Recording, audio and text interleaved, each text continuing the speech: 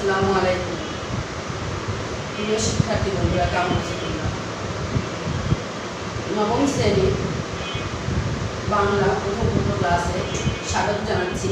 আমি ইয়াসমি সুলতানা করি সহকারী শিক্ষক আশরাফ উচ্চ বিদ্যালয়, ঢাকা। আমাদের আজকের আলোচনার বিষয় পল্লীর সাহিত্য। গ্রামের যে সাহিত্য রয়েছে, সেই সাহিত্য নিয়ে আমরা আজকে কথা বলব। এবং এই পল্লী সাহিত্যটি যে গল্পটি, সেটি লিখেছেন ডক্টর মোহাম্মদ শহীদুল্লাহ। ডক্টর মোহাম্মদ শহীদুল্লাহ দশই জুলাই আঠারোশো পঁচাশি সালের পশ্চিমবঙ্গের চব্বিশ পরগনা জেলার বসিরহাট মহকুমার পেয়ারা গ্রামে জন্মগ্রহণ করেন এবং তেরোই জুলাই ঢাকায় উনিশশো উনসত্তর সালে মৃত্যুবরণ করেন। ডক্টর মোহাম্মদ শহীদুল্লাহ, বাংলা ভাষা এবং সাহিত্যের উপর অসাধারণ কৃতিত্ব রেখেছিলেন। তিনি যে বাংলা একাডেমির বিভিন্ন গ্রন্থ রচনা করেছেন, তার মধ্যে উল্লেখযোগ্য তার গ্রন্থের মধ্যে বাংলা ভাষার ইতিবৃত্ত, বাংলাদেশের আঞ্চলিক ভাষার অভিধান উল্লেখযোগ্য। তিনি অনেক বই সম্পাদনা করেছিলেন। তারই সম্পাদনায় শিশু পত্রিকা, আঙ্গুর প্রকাশিত হয়েছিল এবং তিনি আলাউলের পদ্মাবতী সম্পাদনা করেছিলেন। ডক্টর মোহাম্মদ শহীদুল্লাহ ডক্টর মোহাম্মদ শহীদুল্লাহ বাংলা সাহিত্যে, অর্থাৎ গ্রামের যে সাহিত্য রয়েছে, সে সাহিত্য অনাদারে যে পড়ে আছে, তাদেরকে সংরক্ষণ করা উচিত এবং সংগ্রহ করে, সংরক্ষণ করে শহরের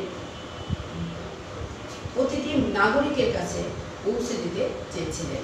সেই জন্য তিনি এই পল্লী সাহিত্য পূর্ব ময়মনসিংহ সাহিত্য সভায়, সাহিত্য সবাইকে নিয়ে এটি প্রচার করেছিলেন। পল্লী গ্রামে শহরের মতো গায়ক, বাদক, নর্তক না থাকলেও তার অভাব নেই। চারিদিকে কোকিল দোয়েল, পাপিয়া প্রভৃতি পাখির কলগান নদীর ধ্বনি পাতার মর্মর শব্দ, শ্যামল শস্যের ভঙ্গিময় হিরাদুলা প্রচুর পরিমাণে শহরের অভাব এখানে পূর্ণ করে দিচ্ছে। পল্লীর ঘাটে, মাঠে, পল্লীর আলোর বাতাসে, পল্লীর প্রত্যেক পরতে পরতে সাহিত্য ছড়িয়ে আছে। কিন্তু বাতাসের মধ্যে বাস করে যেমন আমরা ভুলে যাই, বায়ুসাগরে আমরা ডুবে আছি, তেমনি পাড়াগায়ে থেকে আমাদের মনেই হয় না যে কত বড় সাহিত্য সাহিত্যের উপকরণ ছড়িয়ে আছে। শ্রদ্ধেয় ডক্টর দীনেশচন্দ্র সেন ময়মনসিংহ গীতিকা সংগ্রহ করে দেখিয়েছেন, সাহিত্যে কি এক অমূল্য খনি পল্লী জন্মীর বুকের কোণে লুকিয়ে আছে। সুদূর পশ্চিমের সাহিত্য রসিক রোমালোনা পর্যন্ত ময়মনসিংহের মদিনা বিবির সৌন্দর্যে মুগ্ধ হয়েছে। মানুষের মনসুর বয়াতির মতো আরও কত পল্লী কবি শহরের চক্ষুর অগোচরে পল্লীতে আত্মগোপন করে আছেন। কে তাদের সাহিত্যের মজলিসে সেই জগতের সঙ্গে চেনাশোনা করিয়ে দেবে? আর যদি বাংলাদেশের প্রত্যেক পল্লী থেকে এইসব অজানা, অচেনা কবিদের গাথা সংগ্রহ করে প্রকাশ করা হতো, তাহলে দেখা যেত বাংলার মুসলমান ও সাহিত্য সম্পদে কত ধনী। কিন্তু ভাই, এ কাজের জন্য স্বেচ্ছাসেবক দল কই হ্যাঁ সত্যিই তাই। বাংলা বাংলা লোকসাহিত্যের গৌরব ও মর্যাদা সাহিত্যের দরবারে তুলে ধরেছিলেন ডক্টর দীনেশচন্দ্র সেন।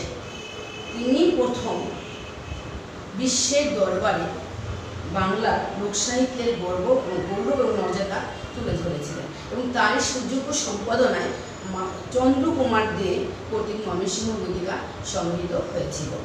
ময়মনসিংহ গীতিকা অন্তর্ভুক্ত লোকগাথার ম- দেওয়ানা মদিনার নায়িকা ছিলেন মদিনা আর মদিনা বিবির সৌন্দর্যে মুগ্ধ হয়েছিলেন ফরাসি কালজয়ী সাহিত্যিক এবং দার্শনিক রোমারোলা রোমারোলা পর্যন্ত মদিনা বিবির সৌন্দর্যে মুগ্ধ হয়েছিলেন। তাহলে আমরা বলতে পারি, আমাদের পল্লী পল্লী অঞ্চলের ভাষা, সাহিত্য, তাদের গান, তাদের যে প্রবচন, খনার বচন, প্রবাদ বচনগুলো রয়েছে, যে সাহিত্যগুলো রয়েছে, তা কোনো অংশেই বিশ্বের অন্যান্য দেশের তুলনায় কম। কিন্তু সেগুলোকে সংগ্রহ করার, সংরক্ষণ করার স্বেচ্ছাসেবক দল নেই বলে লেখক এখানে আফসোস করেছেন। এখানে বলেছে, ফোকলোর সোসাইটি।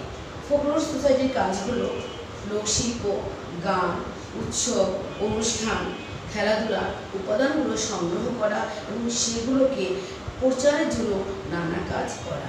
এবং ফোকলোর সোসাইটি প্রথম প্রতিষ্ঠিত হয়েছিল আঠারোশো আটচল্লিশ সালে লন্ডনে। এবং এই ফোকলোর সোসাইটির প্রথম উদ্ভাবক ছিলেন উইলিয়াম থমস। প্রথম উদ্ভাবক ছিলেন উইলিয়াম থমস। কিন্তু বিদেশিদের মধ্যে যেমন ফোকলোর সোসাইটি কাজ করে আমাদের বাংলাদেশের সাহিত্যগুলোকে যদি আনাচে কানাচ থেকে সব সংগ্রহ করা যেত, তাহলে আমাদের সাহিত্য তাদের থেকে কোনো অংশে কম হতো না। কারণ আমরা হাও মাও খাও মানুষের গন্ধ পাও, তার সাথে কিন্তু সেই শেক্সপিয়ারের আমরা থ্রি ফাইভ ফোর ফান ওই smell the blood of British man তার সাথে মিলাতে পারি। এখানে আমাদের রয়েছে খনার বচন। খনা হলো প্রাচীন ভারতের প্রখ্যাত নারী জ্যোতিষী। আমাদের রয়েছে প্রবাদ বচন। প্রবাদ বচন হলো লোকমুখে প্রচলিত বিশ্বাসযোগ্য কথা বা জনশ্রুতি। যেমন নাচতে না জানলে উঠান বাঁকা। প্রত্নতাত্ত্বিক বা পুরাতন পুরাতত্ত্ববিদরা এই পুরাতন কালের জিনিসগুলো সংগ্রহ করে এবং তাদের কান নির্ণয় করে। আলোচ্য প্রবন্ধে ডক্টর মোহাম্মদ শহীদুল্লাহ বাংলার পল্লী সাহিত্যের বিশেষ কয়েকটি দিক সম্পর্কে আলোচনা করেছেন। লেখক এই প্রসঙ্গে বলেছেন যে, একদিন এক বিরাট পল্লী সাহিত্য বাংলাদেশে ছিল, আজ উপযুক্ত গবেষক এবং আগ্রহী সাহিত্যিকদের উদ্যোগ ও চেষ্টায় সেই সম্পদগুলো সংগ্রহ করা নিতান্ত প্রয়োজন। বাংলাদেশের লোক সংস্কৃতির সংরক্ষণ এবং প্রসারের জন্য পল্লী সাহিত্যের বিচিত্র সব সম্পদ, বিশেষ যত্নের সঙ্গে আহরণ করা একান্ত আবশ্যক। দক্ষিণারঞ্জন মিত্র মজুমদার, প্রখ্যাত শিশু সাহিত্যিক ও বাংলার রূপগাথা ও রূপকথা রূপকার।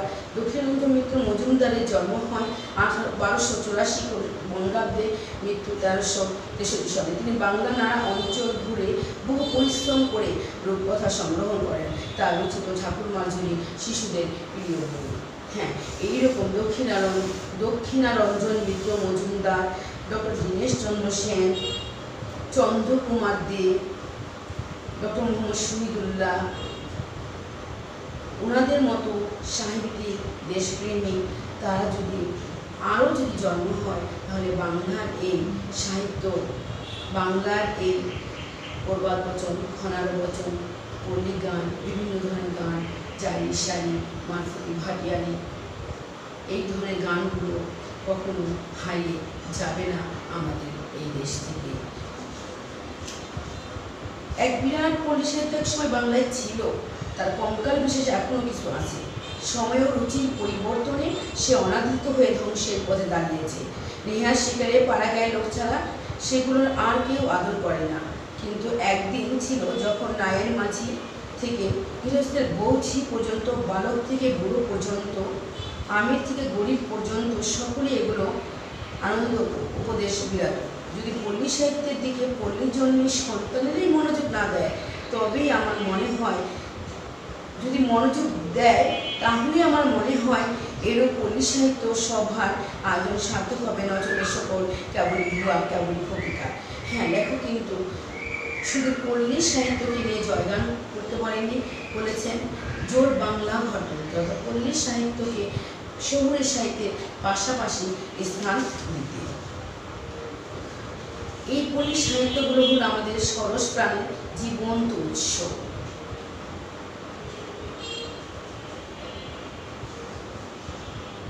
বাড়ির কাজ। আধুনিক শিক্ষার কর্মশাস্ত্র লেখক কি বুঝিয়েছেন? এই সম্পর্কে ব্যাখ্যা করে লিখবে। ধন্যবাদ সবাইকে।